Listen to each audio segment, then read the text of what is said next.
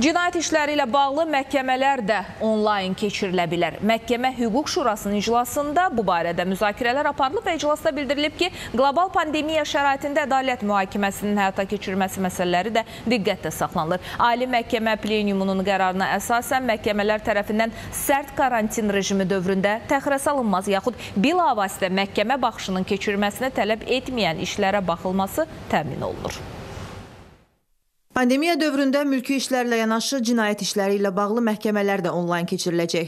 Elektron məhkəmə informasiya sisteminin idarəetmə qrupu rəhbəri Ramin Qurbanov qeyd edir ki, bu barədə qərar Məhkəmə Hüquq Şurasının iclasında verilib. Məhkəmə proseslərinin keçirilməsi məsələsi müzakirə olunub, qərar müsbət olub. Bununla belə təqsirləndirilən şəxs və proses iştirakçılarının mövqeyi nəzərə alınacaq. Etiraz olmazsa məhkəmə iclası onlayn keçiriləcək. Məhkumların və təqsirləndirilən şəxslərin ə, məsafədən dindirilməsi həm cinayət sahəsində ədalət mühakiməsinin daha tez həyata keçirilməsini, vətəndaşların hüquqlarının daha etibarlı qorunmasını, eyni zamanda dövlət tərəfindən bu sahəyə ayrılan vəsaitin qənaətinə gətirib çıxaracaqdır. Bu yeniliklər pandemiya dövründə və hesab edirəm ki, pandemiya dövründən sonrakı mərhələdə də geniş yəni istifadə oluna bilər.